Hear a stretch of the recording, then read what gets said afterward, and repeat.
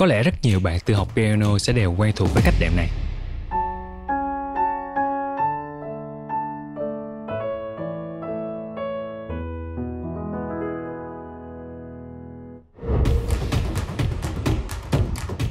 Tại sao cách đệm này lại phổ biến đến mức như vậy?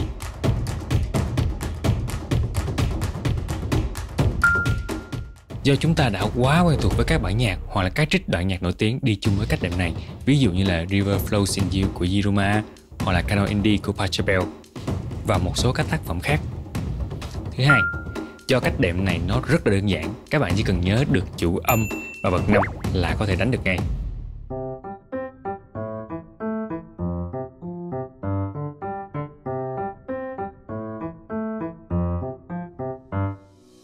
Vậy ưu điểm của cách đệm này là gì mà tại sao nó lại phổ biến quá mức như vậy? Trước khi mình chia sẻ điều này thì các bạn đừng quên ủng hộ Auro Music Class bằng cách bấm nút đăng ký kênh nha. Sự ủng hộ của các bạn chính là động lực để giúp mình có thể làm nhiều thật nhiều hơn những clip chia sẻ kiến thức miễn phí như vậy. Như mình đã nói ở trên, vì nó dễ, dễ đánh, dễ nhớ và dễ áp dụng ở rất nhiều tình huống khác nhau. Và nếu nó dễ sử dụng đến mức như vậy thì mình làm clip này để làm gì?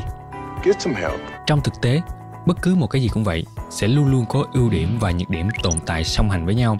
Mặc dù chúng ta đã biết rằng cách đệm 1, 5, 1 có rất nhiều những ưu điểm, nhưng nó cũng tồn tại những nhược điểm hầu như không thể khắc phục được.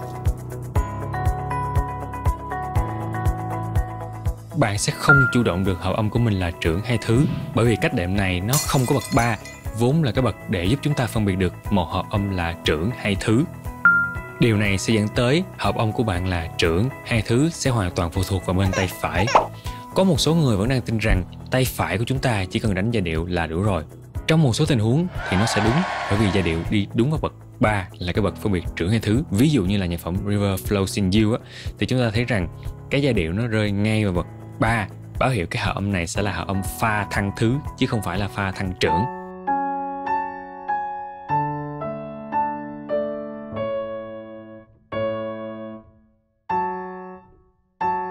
và chúng ta cứ tiếp tục tập như vậy qua các bài khác như một thói quen mà chưa chắc rằng giai điệu nó cũng sẽ đi đúng như kiểu bài ví dụ trước.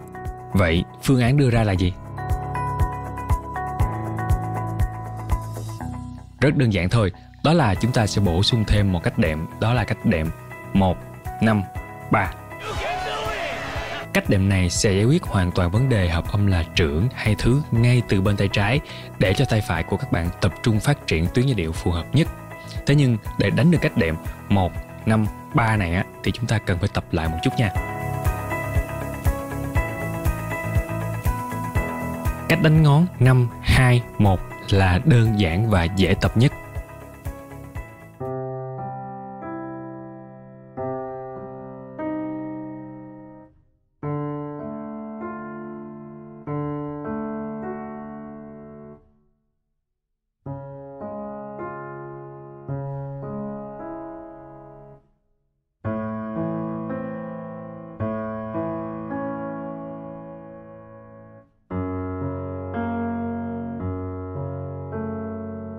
đánh kiểu 5, 3, 1 là một hình thức kết hợp cả hai cách đánh trên.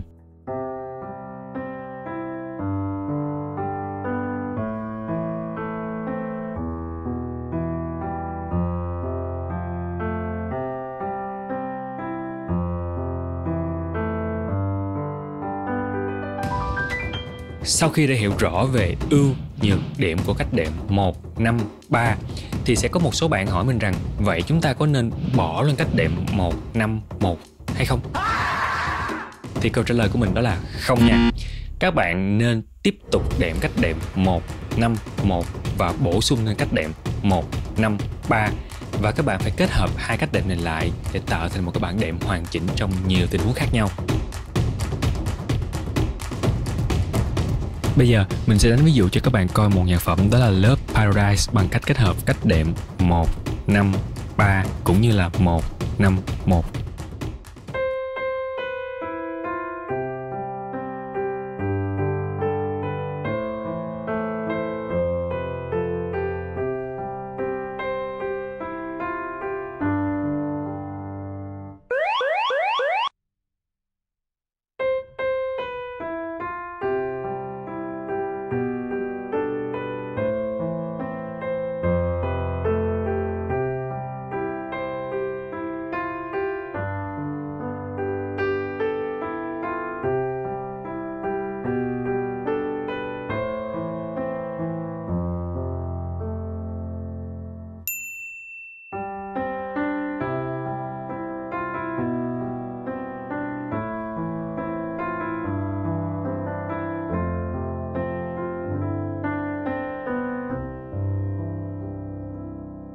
Batiro hy vọng rằng clip này sẽ giúp cho các bạn hiểu rõ hơn cách đệm 1, 5, 3 và chúng ta sẽ biết cách để kết hợp hai cách đệm các bạn đó là 1, 5, 1 cũng như là 1, 5, 3 các bạn có những băn khoăn gì về guitar, piano hay là hòa âm thì cũng đừng ngại để lại một bình luận nhé. Batiro sẽ tiếp tục làm clip chia sẻ về những điều mà các bạn băn khoăn và rất hy vọng rằng những clip này của mình sẽ giúp cho các bạn tự học chơi nhạc cụ một cách đơn giản hơn.